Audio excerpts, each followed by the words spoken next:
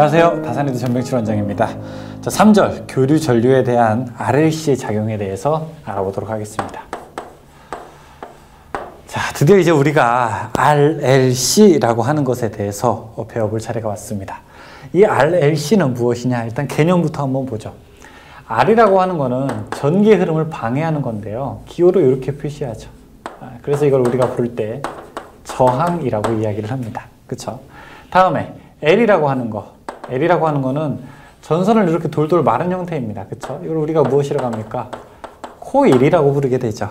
그쵸? 영어로는요. 이걸 우리가 inductor라고 부르게 됩니다. 그 다음에 C는요. 아, 전하를 축적하는 역할을 하는 것으로서 우리가 콘덴서라고 부릅니다. capacitor라고 부르게 되죠. 그래서 자, 저항을 얼마나 전기를 방해하느냐, resistance라고 이야기하고 코일에서 유도하는 능력은 인덕턴스, 그 다음에 콘덴서의 전하를 축적하는 능력은 캐패시턴스라고도 이야기하게 되죠. 자, 그런데 이것을 우리가 직류에서 할 때는요, 이런 일을 했었어요. 직류에서 할 때는 어떤 일을 했느냐, 저항이라고 하는 거는 전기를 뭐 했습니까? 전기 흐름을 방해하는 거예요. 그쵸? 다음에 코일은 무슨 역할을 했습니까? 이거는 유도한다고 했어요. 그쵸? 다음에 콘덴서는요. 전기를 저장하는 역할을 했습니다. 그런데 이게 이제 우리가 교류에 와서 지금 이 아래, 교류에서의 RLC 작용 아닙니까? 그러니까 교류에서는 어떤 역할을 하냐? 이 얘기를 한번 해보게, 해보도록 하죠. 자, 교류에서는 저항은 일단 그대로 옵니다. 저항은 전기를 방해하는 역할을 합니다. 얘는 그냥 방해꾼이에요, 방해꾼. 그냥 나쁜 녀석이에요. 코일은 어떤 역할을 하게 되느냐? 자, 코일에다가 직류를 넣었을 때는 N극과 S극이 분명히 생겼지만 만약에 교류를 집어넣게 되면요. 한번 보시죠. 자, 여기 교류에, 코일에다가 교류를 집어넣게 되면 처음에 여기 플러스 마이너스라고 한번 해보죠. 그럼 자기장이 이렇게 만들어진다고 해볼게요. 그럼 만들어지는 자기장 때문에 자체 유도되는 전기가 생긴다고 했었죠. 그렇죠. 그 전기가 뭐라고 했습니까? 자체 유도. 그렇죠? 그래서 이 인덕턴스를 자체 인덕턴스라고 이렇게 부르게 됐는데 어쨌든 자체 유도하는 전기가 렌즈 법칙에 의해서 자속의 증감을 방해하는 방향으로 전기가 생기죠. 또 플러스 마이너스가 바뀌게 되면요. 그와 반대 방향으로 전기가 또 생기겠죠. 그러니까 전기가 흐르는 것을 막는 힘이 생긴다고요. 누구 때문에? 이 코일 때문에. 그러니까 코일에도 일종의 어떤 힘이 생긴다? 일종의 방해하는 힘이 있다 없다? 있게 되는 겁니다. 이때 주파수가 커질수록 플러스 마이너스가 자꾸 바뀔수록 어떻게 된다? 그 힘도 당연히 더 커진다. 자, 저장하는 거는요. 콘덴서는. 콘덴서는 원래 전기를 저장하게 되는데 이게 플러스랑 마이너스를 계속 공급해줘야 전화가 이렇게 딱 하고 달라붙는 거죠. 그런데 플러스 마이너스를 계속 바꿔줘 봐요. 그럼 이게 전 전기가 저장됩니까? 안 되죠. 방해합니다. 근데 이건 직류에 가까울수록 사실은 전기를 방해하는 힘이 더 커지게 되는 거죠. 전기를. 왜냐하면 직류는 전기가 안 통하는 거잖아요. 그렇죠? 그래서 콘덴서는 아, 주파수가 커지게 되면 오히려 방해하는 힘은 더 적어지게 되는 겁니다. 그러니까 마치 전기가 흘러가는 것처럼 보이게 되는 거죠. 아, 이렇게 봤더니 아, 이게 뭐야? 직류에서는 RLC가 다 방해, 유도, 저장 작용을 하는데 교리에 왔더니 다 무슨 놈들이에요? 다 방해꾼들로 다 전락되게 되는 거죠. 아, 이러면 안 되겠다. 좀 억울한 애들이 누굽니까? 이 L이랑 C는 좀 억울하지 않겠습니까? 왜요? 아, 나는 직류일 때는 조금 쓸만한 놈들이었는데 교류로 오니까 푸대접 받는 거 아니에요. 그쵸? 그래서 자, 지금부터 이름을 우리가 한번 정의를 해 줍니다. 뭐를 정의하냐? 이 코일 때문에 방해받는 거를 우리가 무엇이라고 하느냐? 유도 리액턴스다라고 부르게 됩니다. 얘네 둘은 리액턴스라는 이름을 부르게 됩니다. 유도 리액턴스. 자, 얘는요. 콘덴서 때문에 방해받는 걸 용량 리액턴스라고 합니다. X는 X인데 옆에다 C를 붙여주고 이거는 X는 X인데 L을 붙여주게 됩니다. 이 유도 리액턴스는 어떻게 됐느냐? 자, 이거는 오메가 L과 같고요. 오메가가 뭐예요? 2파이 F죠. 그래서 2파이 F L과 같게 됩니다. 즉 주파수에 비례하고 L의 크기에 비례하게 됩니다. 근데 콘덴서에는요, 이거는 아, 오메가 C 분의 1이 되고요. 이거는 2파이 FC 분의 1이 됩니다. 이건 주파수에 반비례하게 됩니다. 주파수가 클수록 오히려 방해받는 힘은 더 작아지게 됩니다. 자, 결론. 저 교류에서는, 직류에서는 I는 R분의 V였어요. 왜요? 방해하는 놈이 R밖에 없으니까. 근데 교류에서는 어떻게 돼요? 이제 I는 임피던스분의 V라고 해요. 이 세 놈들을 다 합쳐서 임피던스라고 합니다. 따라서, 자, 임피던스라고 하는 거는 Z라고 기호로 나타내고 다니는 옴입니다. 교류에서 전기를 방해하는 모든 놈들을 다 뭐라고 한다? 임피던스라고 이야기합니다. 임피던스는 두 가지가 있어요. 어떤 거? 저항과 그 다음에 리액턴스가 있습니다. 리액턴스는 두 개, 두 개죠. 무엇? 코일 때문에 방해받는 유도성 리액턴스와 콘덴서 때문에 방해받는 용량성 리액턴스로 나눌 수가 있습니다. 이 코일 때문에 방해받는 유도성 리액턴스는 2파이 FL이 되고요. 그 다음에 콘덴서 때문에 방해받는 용량성 리액턴스는 2파이 FC 분의 1 이렇게 됩니다. 자, 그래서 요것들을 좀 기억하시죠.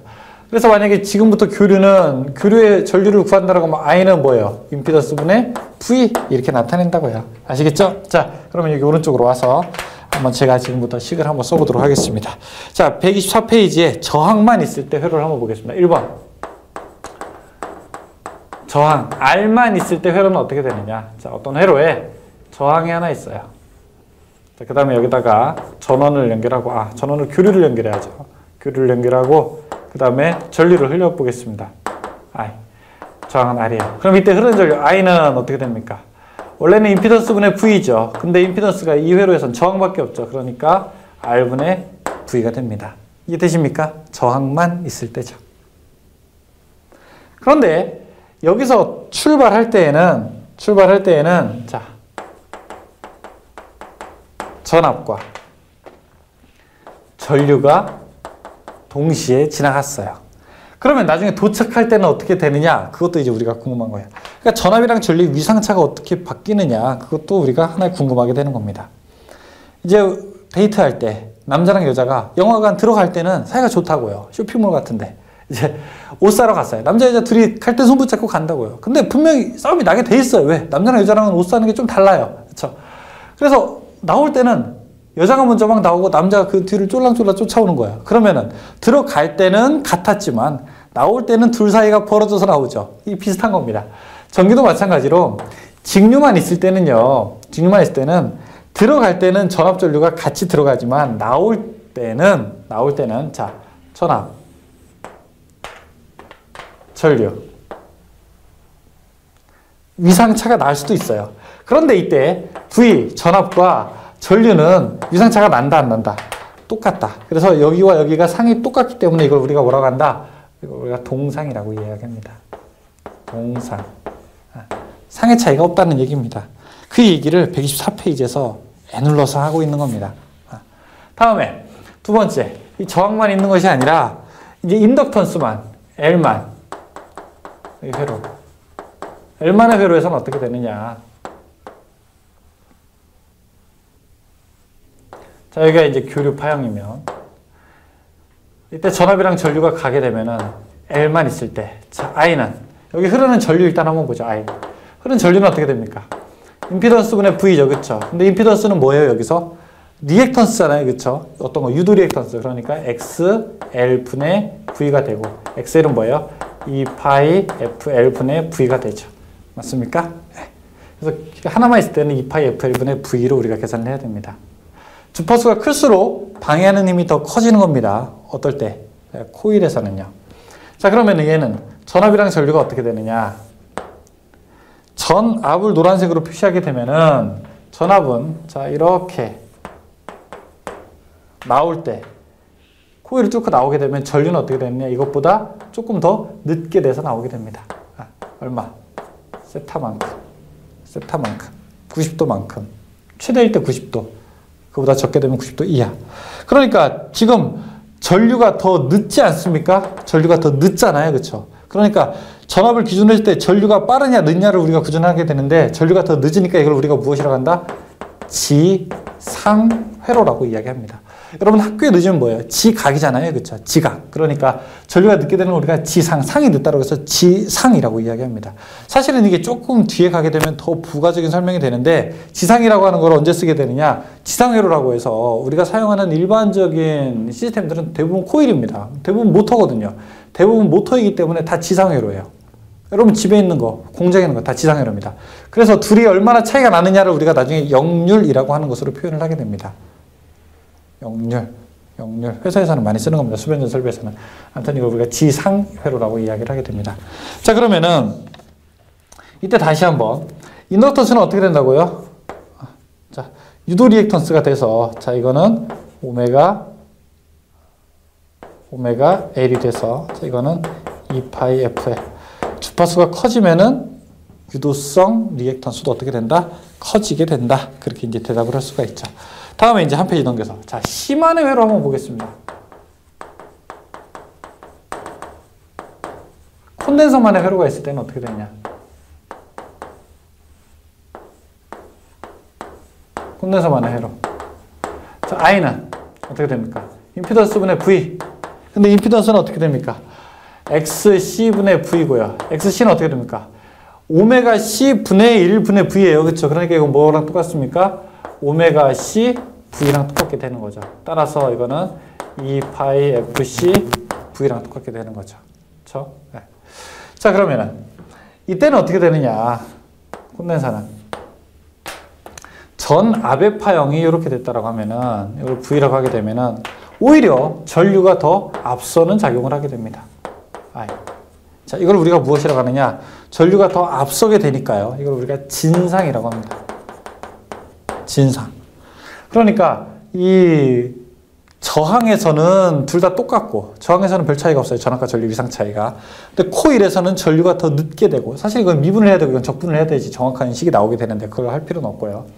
콘덴서에서는 어떻게 된다? 전류가 더 앞서게 된다. 그래서 코일은 지상, 콘덴서는 진상 회로가 되게 되는 겁니다. 자, 다시 한번 X, C 어떻게 된다고요? 이거는 오메가 C 분의 1이 되고요. 자, 이건 어떻게 돼요?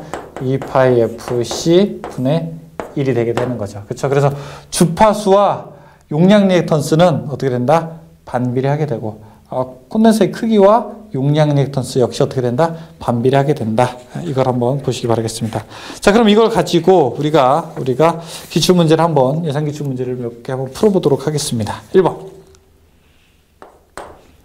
어떤 회로에 소자의 일정한 크기의 전압으로 주파수를 두, 주파수를 두 배 증가시켰더니 흐르는 전류의 크기가 2분의 1로 되었다. 이 소자의 종류는 어떻게 되는가? 자, 주파수를 두 배. 주파수를 두 배로 했더니 올렸더니 전류가 반이 됐대요. 그럼 주파수와 전기를 방해하는 힘이 비례하는 거 그건 뭡니까? 그건 유도리액턴스죠. 2파이 F에. 코일이죠. 코일 회로라고 하는 걸 우리가 할수 있죠. 답 2번이죠. 2번. 다음 중 용량 리액턴스와 반비례하는 것은 무엇입니까? 용량 리액턴스 XC 어떻게 됩니까?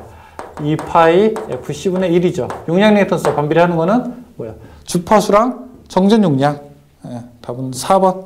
주파수 이렇게 나올 수도 있고 정전 용량 그렇게 나올 수도 있습니다. 그럼 둘 다 답입니다. 3번. 콘덴서의 정전 용량이 커질수록 용량 리액턴스의 값은 어떻게 되는가? 정전 용량이 커질수록 용량 리액턴스의 값은 어떻게 된다? 작아진다. 답 3번. 4번.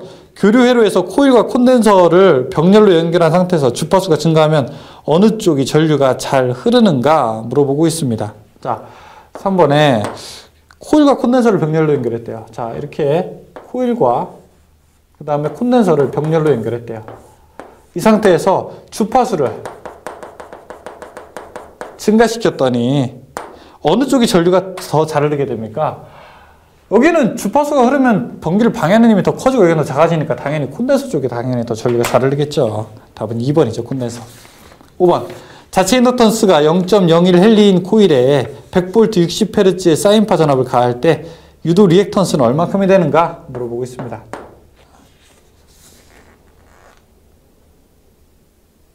음, 잠시만요. 아, 아까, 아까 4번이었네요. 여기 문제가 4번이죠. 그렇죠. 4번. 네. 자, 자체 인덕턴스가 이때 유도 리액턴스는 얼마인가? 유도 리액턴스 XL은 2 파이 FL이죠. 그렇죠? 그러면은 2 곱하기 3.14 곱하기 지금 주파수가 얼마? 60. L 값이 얼마예요? 0.01. 0.01. 자, 계산하면 우리가 풀 수 있겠죠. 3.77옴 되겠네요. 답 1번. 6번. 자기 인덕턴스 10mH의 코일에 50Hz 314V의 교류 전압을 가했을 때 몇 암페어의 전류가 흐르는가 물어보고 있습니다. 인덕턴스라니까. I는 임피던스 분의 V. 임피던스는 뭐예요? 지금 코일의 회로니까 2 파이 FL 분의 V가 되죠. 자, 2 곱하기 3.14 곱하기 주파수가 얼마입니까? 지금 50Hz네요. 50Hz. 곱하기 L 값이 10mH. 10 곱하기 10에 마이너스 3승. 분의 전압이 314. 그러면은 계산기로 한번 해보세요. 100A 나오게 됩니다. 4번. 7번 어떤 회로에 V는 200사인 오메가 t 전압을 가했더니 I는 50사인 오메가 t 플러스 2분의 파이의 전류가 흘렀다. 이 회로가 무엇이냐 물어보고 있습니다. 자, 7번 재밌는 건데 V는 200 사인 오메가 t이고 I는 어떻게 됩니까? 50 사인 아, 오메가 t 플러스 2분의 파이래요. 자, 이때 이 회로가 무슨 회로가 되냐라고 물어보고 있는데 2분의 파이라고 하는 게 뭐예요? 이거 위상이라고 했죠. 전류가 지금 빠른 겁니까? 늦는 겁니까? 얘를 기준으로 했을 때 이거 기준이잖아요. 아무 뒤에 아무 얘기도 없으니까 기준보다 더 앞선 거죠. 전류가 더 빨라요. 그러니까 무슨 회로예요? 이거? 진상 회로죠. 진상 회로에서는 어느 회로에서 나올 수 있는 특징입니까? C 회로에서 나올 수 있는 특징이죠. 진상 회로. 그러니까 무슨 회로? C 콘덴서 용량성 회로죠. 이 회로는 3번이죠. 8번 5mm 헬리의 코일에 220V 60Hz의 교류를 가할 때 전류는 약 몇 암페어가 되는가 물어보겠습니다. 자, I는 임피던스 분의 V. 임피던스는 코일 회로니까 2파이 FL분의 V. 자, 그러면은 2 곱하기 3.14 곱하기 주파수가 얼마입니까? 60Hz 곱하기 L 값은 5mH죠.